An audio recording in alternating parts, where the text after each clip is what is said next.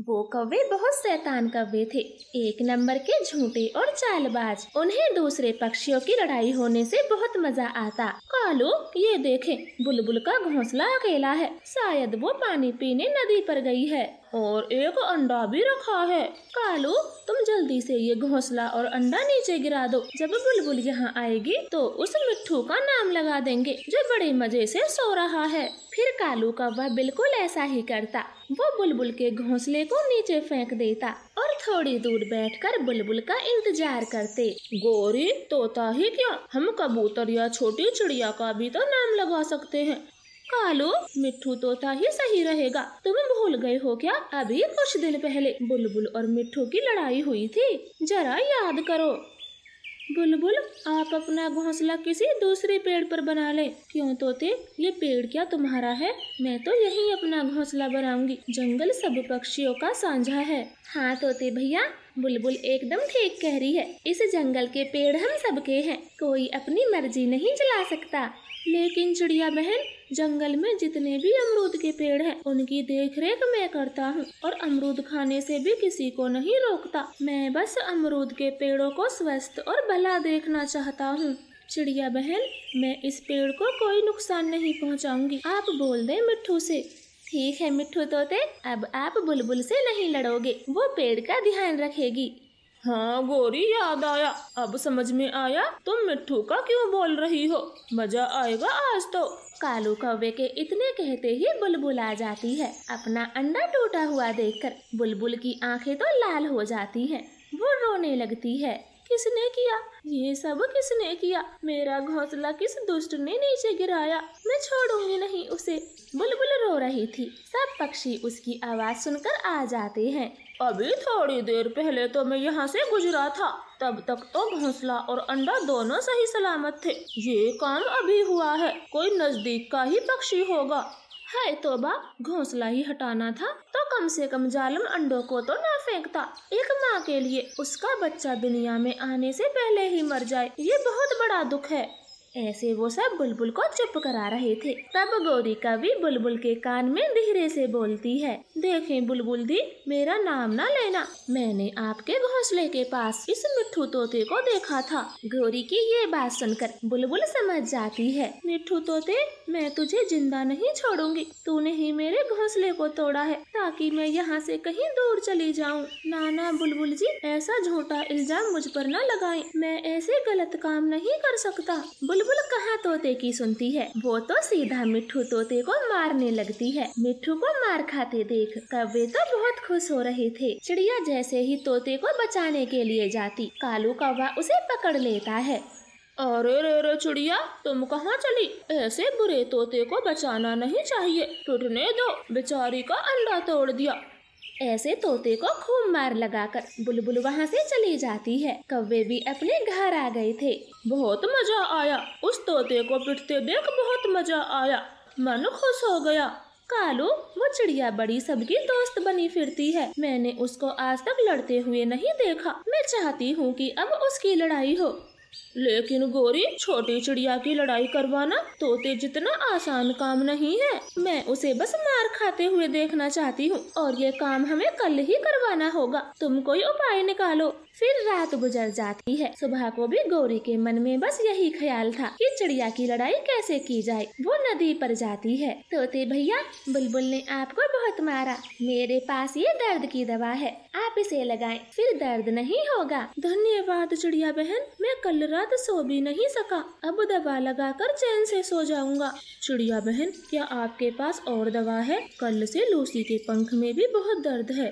हाँ कबूतर भाई मैं लूसी के लिए भी ये दवा बना दूँगी और शाम को आपके घर दे आऊँगी। कालो ठीक ही बोल रहा था। चिड़िया की लड़ाई करवाना मुश्किल काम है। वो सबसे कितने प्यार से बातें करती है। इससे भला कौन लड़ेगा? ऐसे सोचकर गोरी कवि वहाँ से चली जाती है। एक दिन की बात है। दोनों कवि भूखे भटक रहे थे, तभी वो एक फलों के बाग में घुस जाते हैं। इतने में ही बाग का मालिक चील आ जाता है। गोरी, चील दादा आ गया। अगर जान प्यारी है तो भागो यहाँ से। कालू, अभी तो आए हैं। पेट भर खाने तो दो। चील से माफ़ी मांग लेंगे। झूठ मूठ का रो भी देंगे। गोरी, ये बात को बाद में सुनता है। पहले मार लगा देता है। फिर बाद में मत कहना कि मेरी चांच टूट गई। बहुत बुरा है ये चील दादा। गौरी कभी डर जाती है और दोनों वहाँ से बाहर निकल जाते हैं। तभी गौरी के मन में चिड़िया की लड़ाई करवाने का ख्याल आता है और वो दोनों रात को बाग से भर भर के फल तोड़ कर ले जाने लगते हैं। कुछ ही दिनों में बाग खाली होने लगा था। अरे अरे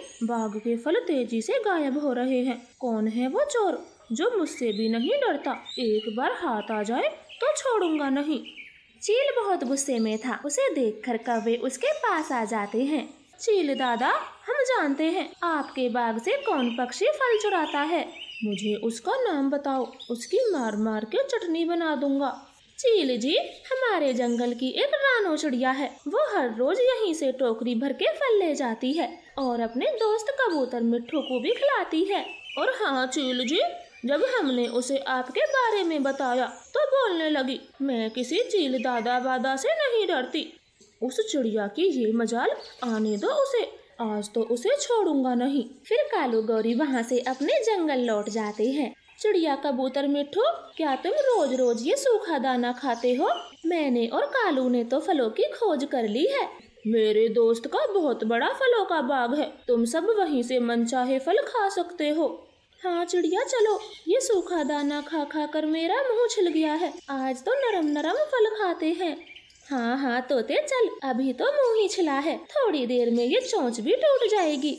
चलो तो देर किस बात की? जब कालू का दोस्त है तो डरने की क्या बात? ऐसे वो तीनों दोस्त कालू गोरी के साथ चल देते हैं। वो बाग के बहुत नज़दीक थे। अरे कालू, हम तो तुम्हारे दोस्त के लिए खीर लाना भूल ही गए।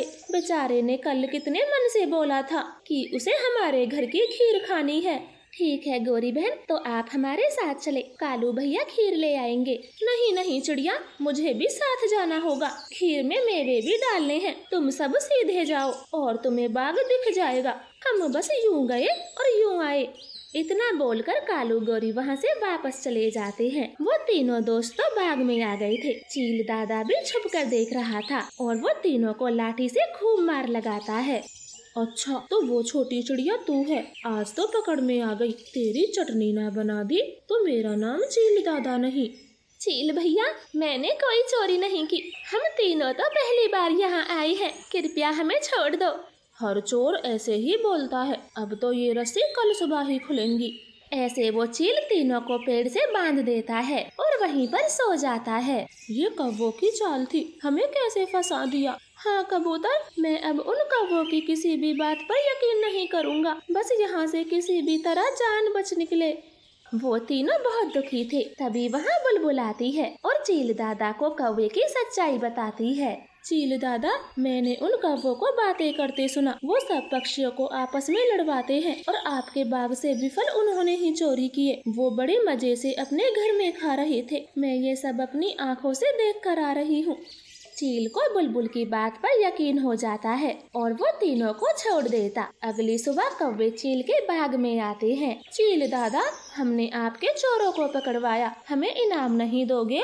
हाँ क्यों नहीं? तुम्हें तो इनाम ज़रूर दूँगा। ऐसे बोलते हुए चील एक बड़ी लाठी लाता है और दोनों कौवों को खूब मार लगाता। दुष्ट जालम अपने मज़े के लिए निर्दोष पक्षियों को पिटवाया। आज तो तुम दोनों की खैर नहीं, मैं तुम दोनों को मार मार के भूत बना दूँगा। ऐसे चील दोनों कौवों की अच्छी खबर लेता। गोरी कालू डर के मारे सब सच्चाई बता देते हैं, लेकिन चील उन पर जरा भी रहम नहीं करता और पूरी रात का वे पेड़ से उल्टा लटक कर बिताते। उन्हें सारी शैतानी याद आ गई थी। आपका धन्यवाद। कालू कौवा बहुत गुस्से वाला पक्षी था और साथ में जिद्दी भी वो अपनी माँ के साथ रहता, जो कि अब बूढ़ी हो चुकी थी। एक दिन की बात है, मिट्टू तोते की परचूने की दुकान पर ग्राहकों की लाइन लगी थी। अरे बाप रे, यहाँ तो लंबी लाइन लगी है। लगता है आज ही सबके घर का राशन खत्म हो गया।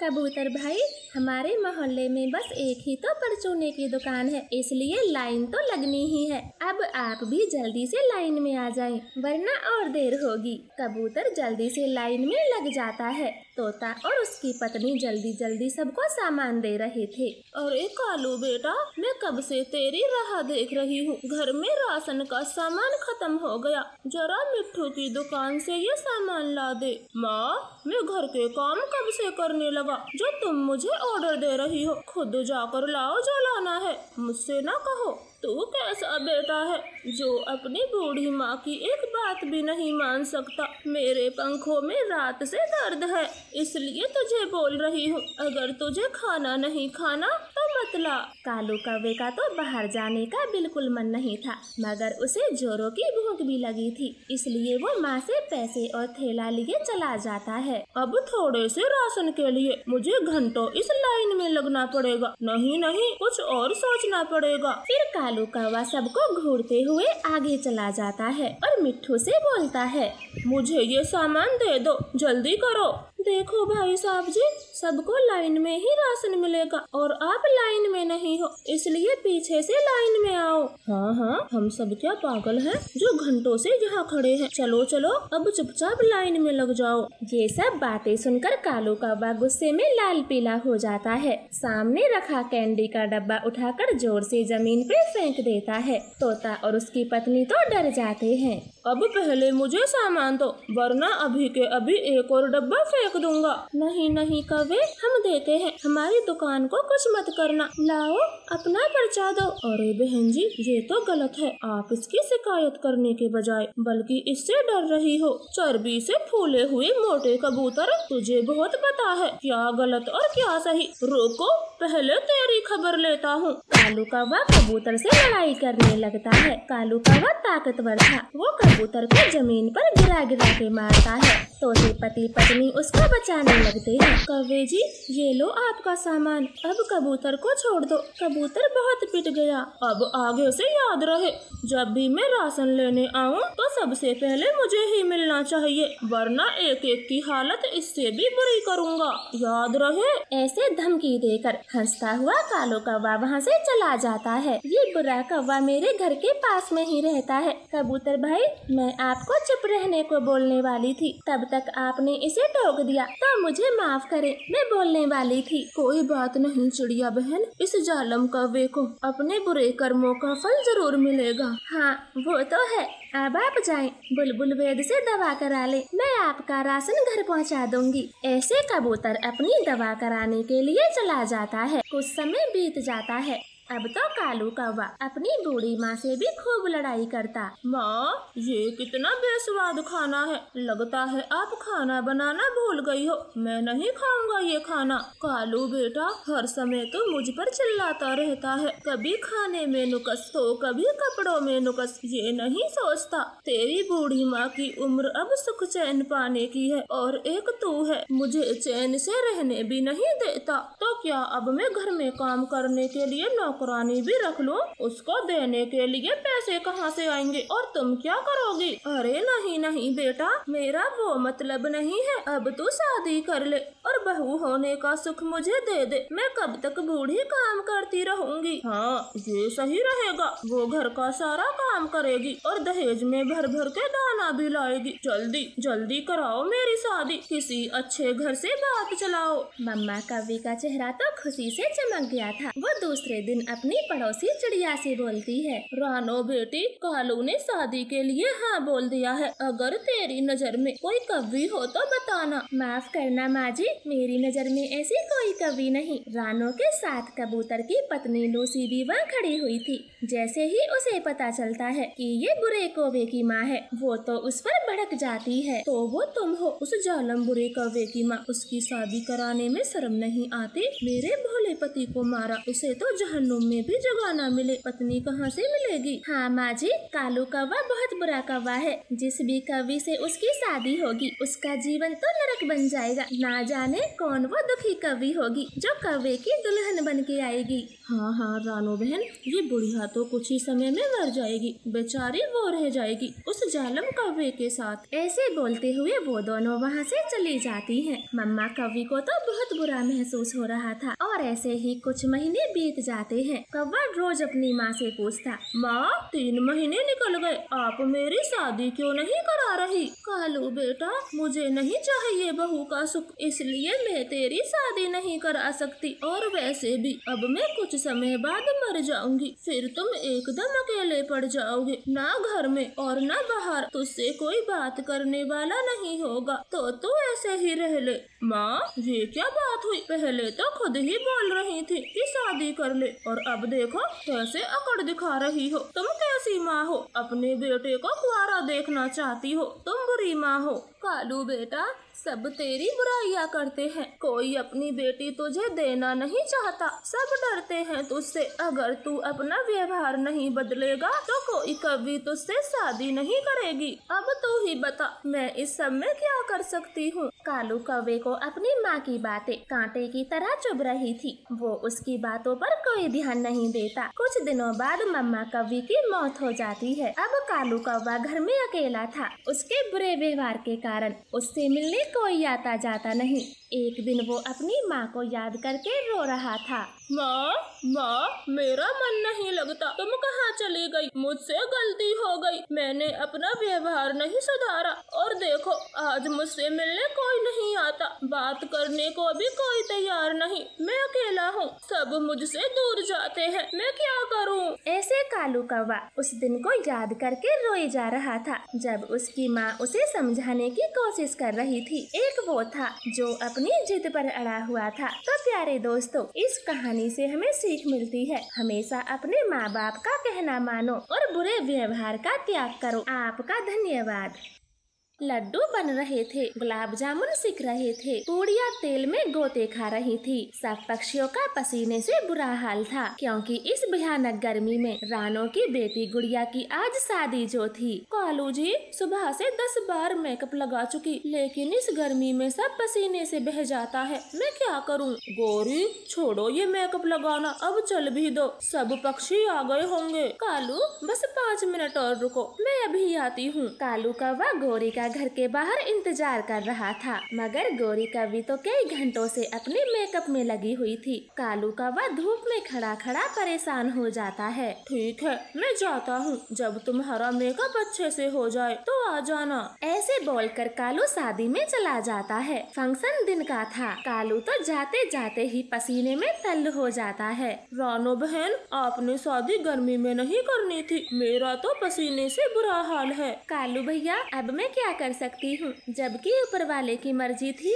ये तो तभी हो रही है। वैसे आप ठीक कहते हो इस गर्मी से सबका बुरा हाल है। रानो जी मैं आपकी बहन को लेने बस स्टैंड जा रहा हूँ। वो काफ़ी देर से खड़ी है। हाँ हाँ टन्नू जी आप जल्दी जाएँ और एक बर्फ़ की सिल्ली भी ले आना। घर में जितनी भी बर्फ़ आई थी वो सब मेहमानों को पानी पिलाने में खत्म होगी। फिर टुन्नू चुड़ा वहाँ से चला जाता है और तभी उसके पास कबूतर आता है। रानो बहन बारात आने में कितना समय लगेगा। कार्ड में तो दस बजे का लिखा था। और कबूतर, लगता है पहली बार शादी में आया है। पता नहीं है, जब कार्ड में दस बजे लिखा हो तो बारात दो तीन घंटे लेट ही आती है। कम से कम एक बजे खाना मिलेगा। नहीं कालू, खाना बस शुरू ही होने वाला है। बारात का इंतज़ार नहीं कर सकते, इसलिए टुन्नू जी ने खाना अभी से लगवा दिया। ऐसे गर्मी के भयंकर मौसम में सब पक्षी शादी एंजॉय कर रहे थे। कुछ ही पलों में खाना शुरू हो जाता है लेडीज़ पक्षियों ने तो भर भर के मेकअप किया था। गोरी कवि तो सबसे अलग ही दिख रही थी। सब उसे ही घूर रहे थे। गोरी, आपने इतना सारा गहना पहना है। गर्मी नहीं लग रही क्या? लग तो रही है, मगर शादियों में सब ऐसे ही तैयार होते हैं। बारात दिल्ली से आ रही है तो अच्छे से तैयार होना ज़रूरी है। तुम्हारी तरह नहीं, ऐसे आगे हो, जैसे टेंट में दोने बीन रहे हो। ऐसे बातें कर, गोरी रानो के घर में चली जाती है और रानो से बोलती है, रानो बहन, गुड़िया बेटी कहाँ है? जरा मैं भी तो देखूँ, उसका मेकअप कैसा हुआ है? गोरी बहन, गुड़िया अभी पार्लर से नहीं आई, बस आती ही होगी। अरे रानो, आपने कितनी छोटी ज्वेलरी पहनी है। तुम्हारी बेटी की शादी है। कुछ बड़ा बड़ा सा पहनो। गोरी, गर्मी में ये ही नहीं सुहा रहे। मन करता है इन्हें भी उतार के रख दूँ। ओहो, अब बस भी करो। लाओ, मैं तुम्हें तैयार करती हूँ। बारात वाले क्या कहेंगे? लड़की की माँ कैसी है? फिर गौरी रानो को शीशे के सामने बिठाती है। उसे पाउडर लगाती बड़े बड़े झुमके पहनाती, हार पहनाती और गहरी गहरी लिपस्टिक भी लगाती है। देखो रानो, अब लग रही हो दुल्हन की माँ। अरे गौरी बहन, आपने ये कैसा मेकअप किया है? छोड़ो छोड़ो, अब जल्दी चलो। लगता है बारात आ गई। हाँ गौरी, आप ठीक कहती हो, लेकिन अभी तक गुड़िया नहीं आई। मैं किसी से पता करवाती हूँ। ऐसे दोनों बाहर आती हैं। रानो कालू से बात करके उसे गुड़िया को लेने भेजती है। कालू तुरंत ही भागा भागा जाता है और जल्दी से गुड़िया के पार्लर पहुँच जाता है। गुड़िया एकदम तैयार बैठी थी। अरे गुड़िया, अगर आप तैयार हो तो घर क्यों नहीं आ रही? कालू, अंकल देखो ना, बाहर कितनी गर्मी है। अगर मैंने धूप में पाँव भी रखा तो गर्मी से सारा मेकअप धुल जाएगा। फिर आप ही बताएँ, मैं बाहर कैसे आ सकती हूँ? मेरा इतना महँगा मेकअप खराब हो जाएगा। मैं बाहर नहीं आऊँगी। लेकिन गुड़िया बेटी, धूप तो शाम तक रहेगी। फिर आप घर कब चलोगी? बारात दरवाजे पर खड़ी है। चाहे कुछ भी हो मैं अपना मेकअप खराब नहीं करूँगी। जब छाया हो जाएगी तो मैं आ जाऊँगी। गुड़िया बेटी ऐसी जिद ना करो। बाराती क्या समझेंगे? ऐसे कालू गुड़िया को खूब समझाता है मगर वो जाने से साफ़ साफ़ मना कर देती है। कालू कौवा जल्दी जल्दी घर आता है और गुड़िया की सारी बात रानो को बता देता है। अब मैं क्या करूँ? ये टुन्नू जी भी ना जाने कहाँ व्यस्त है। अब किसे भेजू? ये गुड़िया भी ना ना जाने कैसी कैसी जिद करती है। ये नहीं जानती, आज उसकी शादी है। बस अपनी ही मनमानी करनी। रानो बहन, चिंता ना करे, मैं जाता हूँ और गुड़िया बेटी को लेकर आता हूँ। आप तब तक बारातियों को नाश्ता करवाएँ। कबूतर जल्दी से जाता है, लेकिन गुड़िया नहीं मानती। अब तो बारात को भी शक होने लगा था। लड़के पक्षी की माँ गुड़िया के बारे में पूछने लगती है। देखें बहन जी, अब तक गुड़िया को आ जाना चाहिए था। आप सच सच बताएँ, आखिर बात क्या है? अरे, बात कुछ भी नहीं है। बस वो गर्मी में अपना मेकअप नहीं खराब करना चाहती, जिद पर अड़ी है। आप चाहे तो चल कर देख लें। क्या कहा इस कव्वे ने हे भगवान, ये कैसी बहू मिली है? बेटा, अब क्या करें? वापस चले क्या? मम्मा, अब गुड़िया की ही क्या गलती है? हमने भी तो आने में कई घंटे लगा दिए, जबकि समय दस बजे आने का दिया था। सोनू बेटा शादी भी हमें देर होती है। लेकिन अब ये बता, आखिर करना क्या है? उस गुड़िया को वहीं लेने चले क्या? बहन जी, आप आराम से बैठे। ठंडा ठंडा शरबत पिए। इस बार मैं जाती हूँ और गुड़िया को लेकर आती हूँ। अब मम्मा चिड़िया गई थी। वो गुड़िया को खूब डांटती है। गुड़िया, ये कैसी जिद है? तुम्हारी शादी है। सब इंतज़ार कर रहे हैं। तुम चल नहीं सकती? मम्मा, मैंने गर्मी में शादी करने से मना किया था। मैं नहीं आऊँगी। जब तक मौसम ठंडा नहीं होता, मेरा सारा मेकअप खराब हो जाएगा। आप समझ क्यों नहीं रही? पूरे दस हज़ार रूपए दिए हैं। ये लड़की पागल हो गई है। दस हज़ार के मेकअप के चक्कर में शादी करने से इनकार कर रही है। मामा चिड़िया बहुत परेशान थी। वो अपनी दोस्त जादुई परी को याद करती है और उसे सारी बात बताती है। चिड़िया रानी, बस इतनी सी बात थी। आपने मुझे पहले क्यों नहीं बुलाया? रुको, मैं अभी कुछ करती हूँ। फिर जादुई परी अपनी छड़ी घुमाती है और एक बर्फ़ की डोली तैयार करती है। छोटी गुड़िया, इसमें बैठ जाओ। ये तुम्हारे ससुराल जाने तक नहीं पिघलेगी और फिर आपका मेकअप भी खराब नहीं होगा। धन्यवाद परी जी आपका बहुत बहुत धन्यवाद। वरना आज तो मेरी जान ही निकल जाती। फिर गुड़िया बर्फ़ की डोली में बैठ जाती है और बहुत खुश होती है। मम्मा, इसमें तो जरा भी गर्मी नहीं लग रही। अब मेरा मेकअप शादी होने तक खराब नहीं होगा। मैं बहुत खुश हूँ। फिर गुड़िया बर्फ़ की डोली में बैठकर घर आती है। सब पक्षी बर्फ़ की डोली देखकर हैरान थे। खुशी खुशी शादी हो जाती है और गुड़िया बर्फ़ की डोली में ही अपने ससुराल के लिए विदा कर दी जाती है और मम्मा चिड़िया राहत की सांस लेती है। गोरी बहन, चाहे कुछ भी हो जाए, लेकिन गर्मी में शादी कभी ना करना। अगर मेरी दोस्त जादुई परी न होती तो ना जाने आज क्या होता। मैं तो बाल बाल बची हूँ। आप सबका शादी में आने के लिए बहुत बहुत धन्यवाद।